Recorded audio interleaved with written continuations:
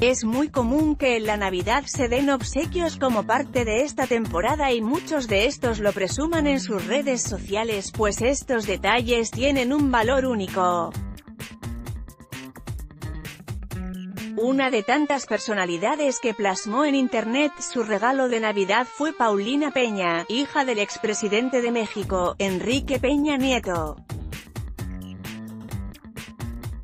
A diferencia de lo que muchos se imaginan, el regalo que recibió la joven no fue algo espectacular o lujoso, más bien, fue un detalle lleno de sentimientos pues se trató de una joya que le perteneció a su mamá, Mónica Pretellini, quien falleció en enero de 2007 de acuerdo con quien, Paulina Peña decidió plasmar ese momento tan especial en su cuenta de Instagram en la que presumió el collar que usó su mamá hasta el día que falleció y que a partir de ahora utilizará en sus eventos.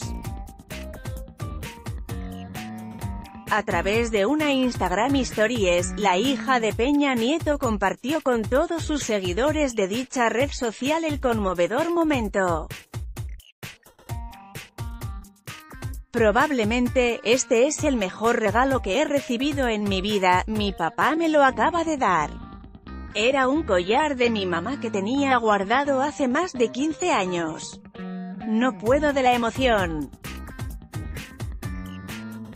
Hola México, informó que Paulina Peña ha mantenido las buenas costumbres que realizaba su mamá. Por ejemplo, a principios de este año la joven de 23 años inauguró una sala de incubadoras en el Hospital Materno Perinatal Mónica Pretellini Sáenz, en el Estado de México con información de quién, hola México, y soy Carmine Fotos de Instagram anímate a comentar.